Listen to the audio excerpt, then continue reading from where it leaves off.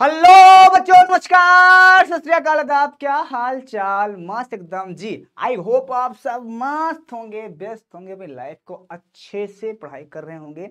Board paper नज़दीक आ गया है और बोर्ड पेपर के साथ साथ सर, एग्ज़ाम के साथ साथ और भी सारी चीज़ें हैं जो आपको मेंटेन करना होगा। यहाँ एक सब्जेक्ट का बार्डन नहीं है।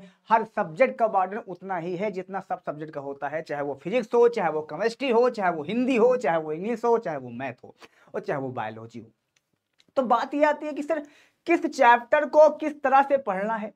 किस चीज़ को किस तरह से मेंटेन करना है? या हमारे जो बोर्ड पेपर के अंदर मोस्ट इंपॉर्टेंट परिभाषाएँ पूछी जाएँगी, ये जो परिभाषाएँ आती हैं, जिनको आप थ्योरी बोलते हो, वो सर कहाँ से और कितने नंबर के आ सकते हैं? तो आज क्वेश्चन और आंसर दोनों सहित मैं लेकर आया हूँ मतलब क्वेश्चन भी होगा आंसर भी होगा, और दोनों को हम अच्छे से मेंटेन करेंगे, किसी को कोई दिक्कत नहीं हो जाएगा।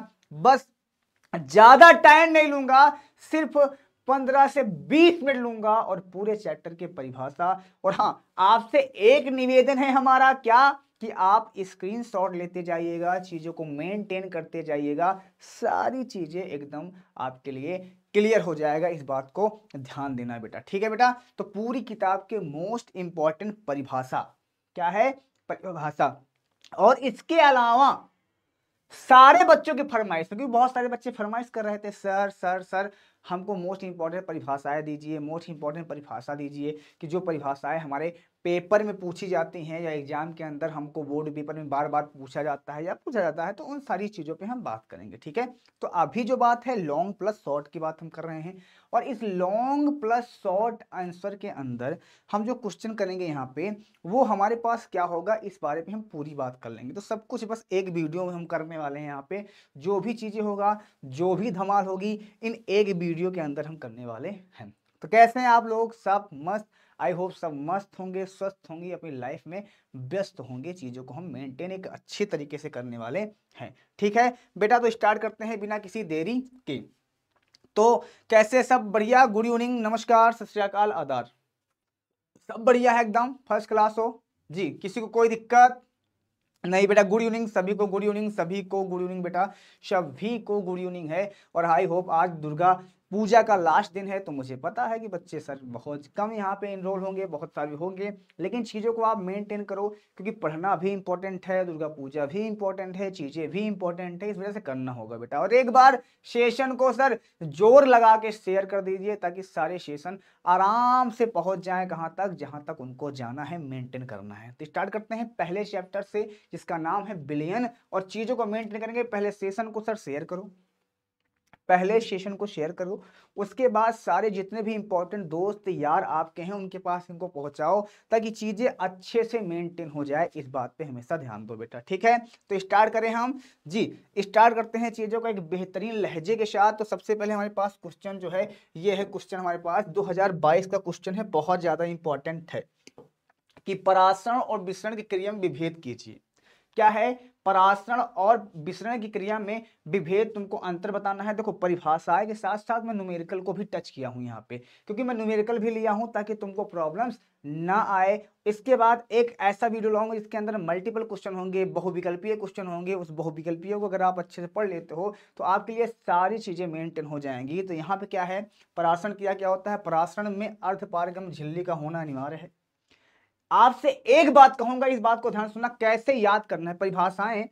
याद कैसे किया जाता है? बहुत सारे बच्चों को ये चीज़ें नहीं पता है, और ज़्यादातर अंतर वाली चीज़ें कैसे याद किया जाता है, इस बात पे अगर थोड़ा सा फोकस कर लिया जाए तो मुझे लगता है आप हंड्रेड में हंड्रेड नंबर लिख के आ जाओगे, और किसी बच्चे को कोई प्रॉब्लम नहीं होगी। ये मेरा आपसे वादा है। ये पूरा आपसे वादा है यहाँ पे चीज़ों को मेंटेन करके। तो तो मेरी बात को यहाँ पे ध्यान से सुनना है। क्या सुनना है उस पर बात करते हैं। तो सबसे पहली चीज़ अगर आपसे बोला जाए कि भैया परासरण दाम तो देखो, अगर तुम्हें किसी भी परिभाषा को बेस्ट एग्ज़ाम्पल या बेस्ट थ्योरी हो, आप चाहते हो कि दिमाग के अंदर तुम्हारे घुस जाए, पूरी तरह से तुम्हारे अंदर फ़ीड हो जाए तो एक बात को हमेशा याद रखो, वो बात क्या है? वो बात ये है हमारे पास कि जो हमारे पास नाम है परासरण क्रिया उसका कोई एक अपोजिट साइड ढूंढ लो। देखो, एक बात तो आपको पता होगा कि जब तक कोई अपोजिट के चक्कर में नहीं आता, जब तक कोई मैदान में लड़ने वाला नहीं होता, तब तक लड़ाई करने में मज़ा नहीं आती है। तो यहाँ पे बात यह है कि अगर कोई परिभाषा, मान लो तुमको बोला गया कि परासरण क्रिया क्या है तो उसके बाद परासरण का उल्टा क्या होता है? विसरण होता है। अब यहाँ पे परासरण अगर तुमको समझना है तो एक चीज़ को याद करो। अब उसके कोई एक पार्टिकल अपोजिट साइड में कोई एक बंदे को खड़े कर दो, कोई एक परिभाषा खड़े कर दो, कोई एक नाम ले लो, उसके अपोजिट साइड में वहाँ पे तुम लर्न करना स्टार्ट कर दो। और जैसे ही लर्न करना स्टार्ट करोगे, वहाँ आपके लिए एक चीज़ होगी, क्या होगी? मैं बताता हूँ। वो जो चीज़ें अपोजिट वाली होती है ना नेगेटिव से पॉजिटिव पॉजिटिव से नेगेटिव दोनों चीज़ें ऑटोमेटिक आपस में समझ में आना स्टार्ट हो जाती है और समझ में आती भी है सर ठीक है, बहुत अच्छी बात कर रहे हैं यहाँ पे। तो यहाँ पे जो हमारे पास है पराशरण में अर्धपारगम झिल्लिक होना है तो इसमें नहीं होना अनिवार्य होगा। पराशरण में विलायक के कण केवल एक दिशा में विशिष्ट होते हैं तो इसमें हो सकता है दोनों समय हो सकता है, प्रत्येक समय हो सकते हैं। ठीक है? पराशरण में विलायक के कण कम शांत बिलियन से अधिक शांत में जाते हैं तो उसको उल्टा कर दो, ज़्यादा वाले से कम में जाते हैं यहाँ पे। ठीक है? परावर्षण क्रिया केवल अवस्था में होती है, द्रव विस्तरण ठोस अवस्था, गैस अवस्था, किसी भी अवस्था में हो सकती है। तो अगर एक को याद करते हो तो एक ऑटोमेटिक याद हो जाएगा। ये बात को अपने माइंड के अंदर बैठाओ। अगला क्वेश्चन पे आओ कि एक हमारे पास क्या है? 0.1 मोल ग्लूकोज तथा 0.1 एम सोडियम क्लोराइड विलयन में किसका परासरण दाब अधिक होगा और क्यों होगा? कारण सही समझाइए। तो भैया, ये क्वेश्चन 2023 का है। किसका है? 2023 का क्वेश्चन है। देखो क्वेश्चन भी हमने वो उठाए हैं जो तुम्हारे लिए बहुत ज़्यादा इंपॉर्टेंट है। हमारे लिए नहीं, जो तुम्हारे लिए बहुत ज़्यादा इंपॉर्टेंट है इस बात को ध्यान से सुनना। तो क्या है? इसमें 0.1 मोल सोडियम क्लोराइड का जलीय विलयन अधिक पराशरण दाब प्रस्तुत करेगा। अब क्यों? क्योंकि यह आयनन पर एन तथा क्लोरीन पे सीएल माइनस दो आयन देता है। जबकि ग्लूकोज का आयन नहीं होता है। मेरी बात को ध्यान से सुनना क्यों ज़्यादा होगा ये आयन बता रहा है क्योंकि यहाँ पे दो प्रकार के आयन है, एक एन प्लस है और सीएल माइनस होगा। तो यहाँ पे कह रहा है ग्लूकोज तथा 0.1 सोडियम क्लोराइड में विलयन में किसका परासरण दाब ज़्यादा होगा? तो भैया ध्यान से सुनो, परासरण दाब किसका ज़्यादा होगा? यहाँ पे बोल रहा है, इसमें परासरण दाब सोडियम क्लोराइड का जलीय विलयन में अधिक परासरण दाब प्रदर्शित करेगा। क्यों करेगा? क्योंकि इसमें आयन होते हैं एन प्लस और सीएल माइनस होते हैं। दो आयन देता है, जबकि ग्लूकोज का आयन नहीं होता है। ग्लूकोज में आयन नहीं होता है तो पराशरण दाब अणु की संख्या गुणधर्म का उदाहरण है। पराशरण दाब क्या है? अणु की संख्या पर जो निर्भर करता है तो सोडियम क्लोराइड के अंदर अणुओं की संख्या यहाँ पे क्या है बेटा? ज़्यादा। और संख्या गुणधर्म आयनों की संख्या पर निर्भर करते हैं, और संख्या गुणधर्म यहाँ पे इनफाइनाइट अणुओं की संख्या। इन गुणों में आयन अणुओं के समान व्यवहार करते हैं। तो इस प्रकार से यहाँ पे जो हमारे पास सोडियम क्लोराइड है, ये आयनाइजेशन के कारण यहाँ पे इसका वाष्प दाब दाब, सॉरी, ज़्यादा होगा। सत्ताईस डिग्री सेल्सियस पर यूरिया के बिलियन का पराशर दाब, क्या कीजिए? क्वेश्चन 2023 का है। टेक का स्कैन शॉट जहाँ पे टेम्परेचर दिया गया है सत्ताईस प्लस दो इसको कैलविन में जब चेंज किया जाता है तो कोई भी डिग्री सेल्सियस दिया रहे, जैसे मान लो यहाँ पच्चीस डिग्री सेल्सियस दिया रहे तो उसको दो में जोड़ दो। अब दो में जितना जोड़ोगे, वो हमारा कैलविन में टेम्परेचर क्या हो जाएगा? वो कैलविन में परिवर्तित हो जाएगा। दो सौ तिहत्तर जैसे जोड़ोगे, वो कैलविन में परिवर्तन हो जाएगा। इस बात को हमेशा ध्यान दो, ठीक है बेटा? चलो तो आपको पता है सर पीवी बराबर एनआरटी होता है। एन क्या होती है? मोलक संख्या आर क्या होता है? गैसीय नितांक होता है। टी क्या होता है? तापमान होता है। जहाँ पे वैल्यू रख दिया गया है यहाँ पे। तो सारा वैल्यू हमको मिलने पर ये हमारा सवाल आ गया। यहाँ पे टेक का स्क्रीन शॉट यहाँ पे अगला क्वेश्चन बढ़ते हैं। बहुत ज़्यादा टाइम नहीं लेंगे बेटा। चलो, आगे बढ़े हम। जी, आगे क्वेश्चन हमारे पास क्या है? वैद्युत अवघट की क्रिया उपयुक्त उदाहरण सही समझाइए। तो वैद्युत अपघट्ट क्या होता है? यहाँ पे ध्यान से सुनना। किसी विद्युत अपघट का वैद्युत धारा द्वारा उपघटन, विद्युत अपघटन कहलाता है यहाँ पे। देखो, अपघटन का मतलब होता है किसी चीज़ को गलित अवस्था में तोड़ देना। जैसे जल को हमने तोड़ा था, अगर आपको याद हो तो हमने एक एक्सपेरिमेंट किया था। वहाँ पे जल को हमने क्या कर दिया था? ब्रेक किया था, उसको इलेक्ट्रोलाइसिस करवाया था हमने। उसको बोलते हैं जल अपघटन। कैसे? उसके आयन को तोड़ना। एक्चुअल में क्या होता है? उसके अंदर जो आयन होते हैं, उसको आप तोड़ देते हो तो वैद्युत अपघटन हो जाता है, ठीक है? और वैद्युत अपघटन, और वैद्युत अपघट क्या होता है? तो वैद्युत अपघट का मतलब हो गया, जैसे पानी के अंदर आप कोई भी अगर शुद्ध पानी लेते हो।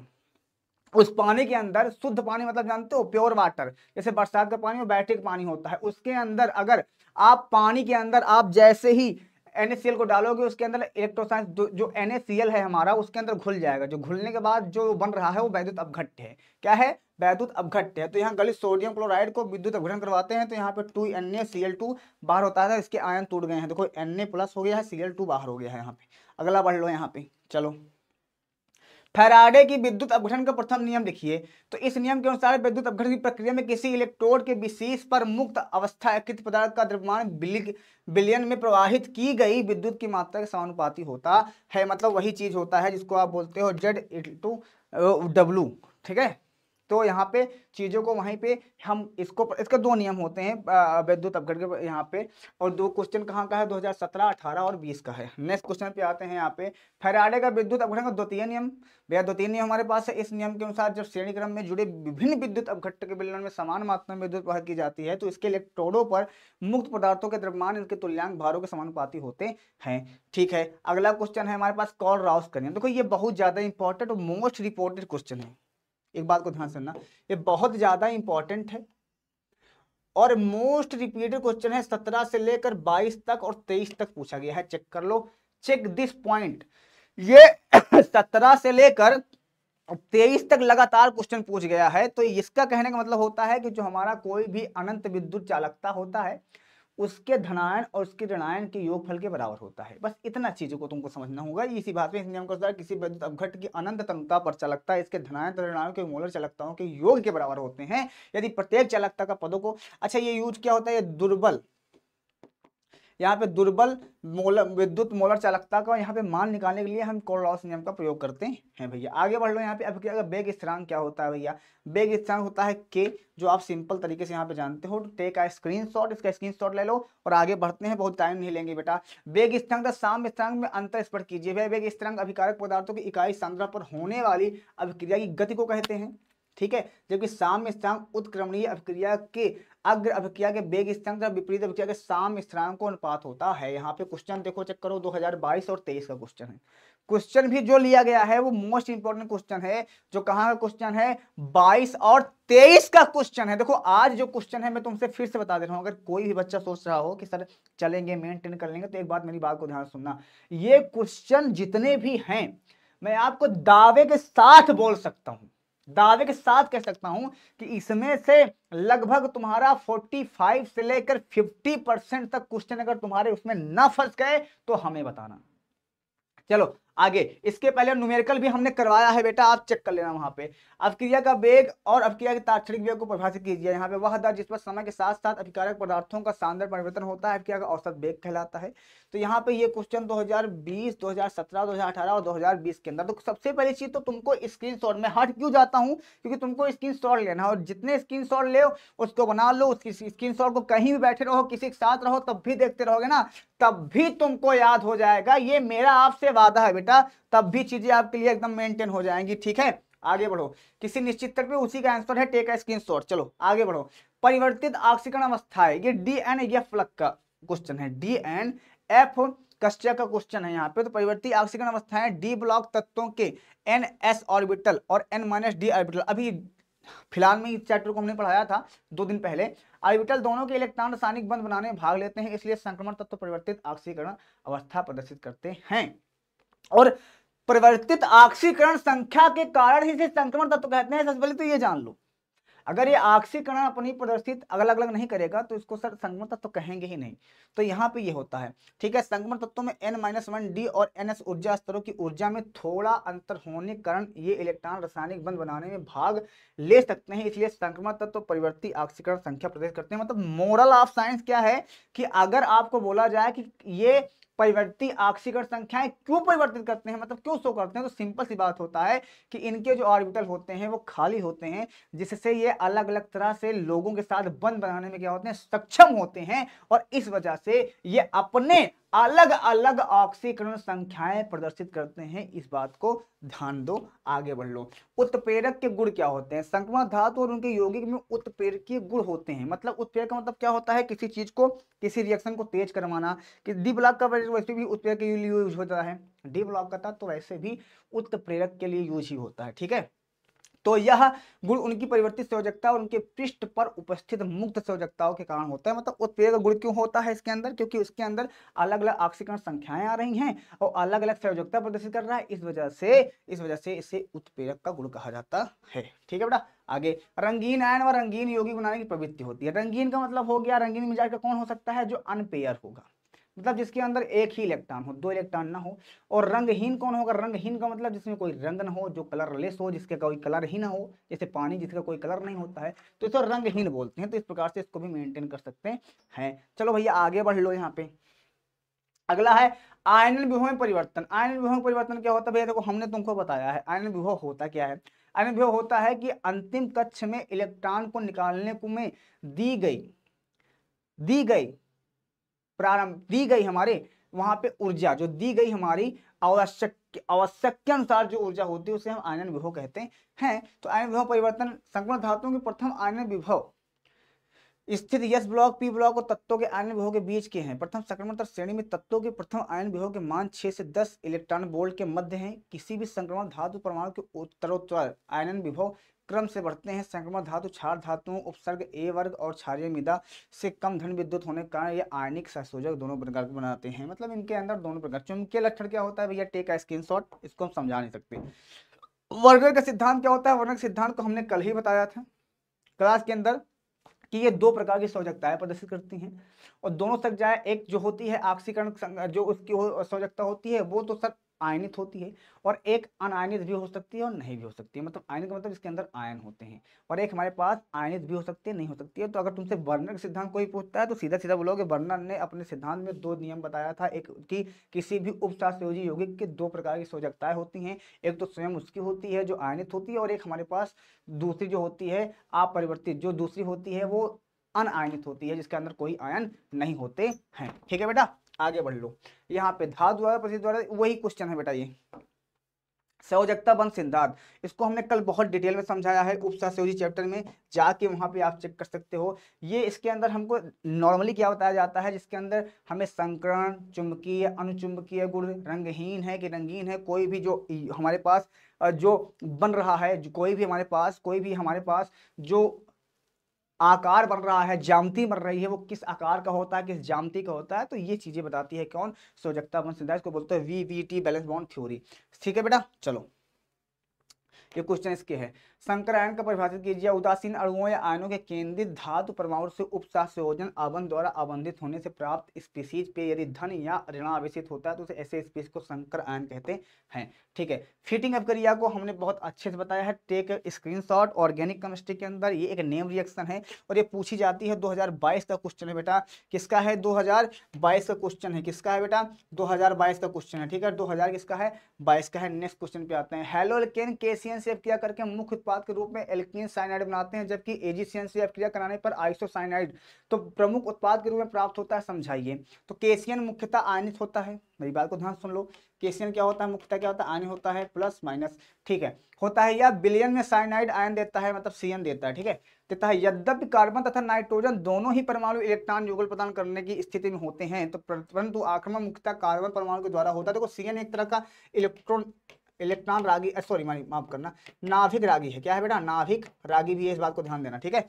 नाइट्रोजन परमाणु द्वारा सीसी तथा सीज़न की तुलना में अधिक स्थायी होता है, यद्यपि एजीसीएन मुख्यतः सा संयोजक प्रकृति का होता है, इसका नाइट्रोजन परमाणु इलेक्ट्रॉन युगल प्रदान करने के लिए सक्षम होता है, इसलिए आइसोसाइनाइड मुख्य उत्पाद के रूप में बनता है। चलो भैया अगले बढ़ लो। फिनाल की लीवर मानव के द्वारा परीक्षण दीजिए। भैया 2018 क्वेश्चन है, लेकिन है बड़ा इंपॉर्टेंट है?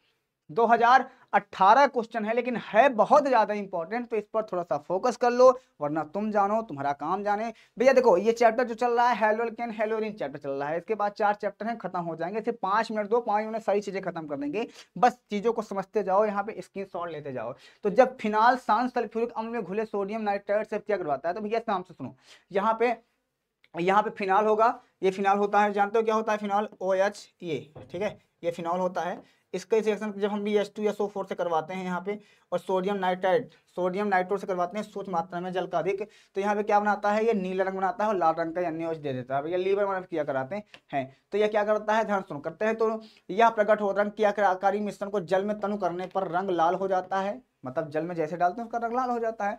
में एन मिलाने पे पुनः रंग नीला हो जाता है। मतलब एन फिर मिलाते हैं तो उसका रंग फिर से नीला हो जाता है। इस अभिक्रिया को हम लीवर मान कहते हैं। मतलब मोरल ऑफ़ साइंस क्या है कि जैसे ही फिनाल लोगे फिनाल के अंदर एच लोगे और सोडियम नाइट्रो सोडियम को लोगे कुछ मात्रा में तो इसका रंग लाल हो जाएगा। ठीक है, कैसा हो जाएगा? लाल हो जाएगा। मतलब इसका रंग पूरा क्या हो जाएगा? लाल हो जाएगा। उसके बाद फिर जैसे ही इसके अंदर एक छाल मिलाओगे एन तो जैसे ही इसके छाल मिलाओगे, उसका रंग फिर से नीला हो जाएगा। मतलब जैसे पहले था, वैसे फिर से हो जाता है। ठीक है बेटा, आगे बढ़ लो। Grignard reagent. This is the very important reaction और हमने इसको बताया भी है। वेरी इंपॉर्टेंट रिएक्शन हमने इसको बताया भी है अच्छे से तो इस बात पे ध्यान दो। ठीक है बेटा? इंपॉर्टेंट है, हमने बताया भी है। टेक आ स्क्रीनशॉट आगे बढ़ लो। ठीक है? मेथिल अल्कोहल से डाई मेथिल ईथर कैसे प्राप्त करते हैं? भैया, देखो ये विलियमसन ईथर संश्लेषण रिएक्शन है। क्या है? विलियमसन ईथर संश्लेषण। लेकिन यहाँ पे हम ठीक से समझते हैं डाई मिथिल ईथर को निर्माण मेथिल एल्कोहल की अभिक्रिया से। तो भैया, ये अल्कोहल है, ये H two S O four है। इसकी रिएक्शन जब इससे करवाते हो तो मेथिल हाइड्रोजन बनता है यहाँ पे C H three H S O four plus H two O ठीक है। आगे फिर क्या है? C H three H O source को फिर से मेथिल एल्कोहल से एक्शन करवाते हैं, इससे करवाते हैं। तो ये पूरा कंपाउंड मेरी बात को ध्यान से सुनना, मैं क्या बोलने वाला हूँ यहाँ पे, ठीक है? तो ये पूरा कंपाउंड इस एच को वैसे बाहर निकलता है। तो यहाँ से H two S O four बाहर निकल गया है। और ये हमारे पास सी एस थ्री है, ये वो है ओ सी एस थ्री है तो ये हमारे पास डाई मेथिल इथर बन चुका है। क्योंकि देखो यहाँ से, यहाँ एक एच है, यहाँ एक एच है, दो एच हो जाएगा एच टू हो जाएगा यस ओ फोर हमारे पास इस प्रकार से बनकर तैयार हो जाएगा। अगला है फार्मेलिन क्या होता है, इसका उपयोग क्या होता है? तो भैया देखो फार्मेलिन जो होती है फार्मेल का जलीय विलन होता है। मतलब फार्मेलिन जो होती है, वो हमारे पास जो फार्मेल्डिहाइड होता है, उसका जलीय जैसे फार्मेल्डिहाइड को जैसे जल के अंदर मिलाते हैं तो बन जाता है फार्मेलिन उसको हम बोलते हैं फार्मेलिन ठीक है? ठीक है। जिसमें फार्मेल्डिहाइड की अधिकतम सांद्रता 40 परसेंट होती है या बिलियन मित जीवों को परीक्षण प्रयोग होता किया किया जाता है। मतलब जहाँ पे मरे लोग होते हैं, मरे लोगों के लिए परीक्षण के लिए किया जाता है। आगे बढ़ लो बेटवा चलो। अगला है, यहाँ पे फार्मेल्डिहाइड और एसिटल्डिहाइड में तुलना का विभेद कीजिए 2018 क्वेश्चन है। तो भैया, यहाँ पे टेक का स्क्रीन स्क्रीनशॉट फार्मेल्डिहाइड क्या होती है और एसिटल्डिहाइड क्या होती है? तो फार्मेल्डिहाइड को ध्यान सुनो यहाँ पे। फार्मेल्डिहाइड जो हमारे पास होता है, कुछ इस तरह से होता है C S three C double one O यहाँ पे एच इस प्रकार से होता है और एसिटल्डिहाइड हमारे पास सॉरी एसीटोन हमारे पास कुछ इस प्रकार से होता है, इसको हम एसीटोन करते हैं, ठीक है?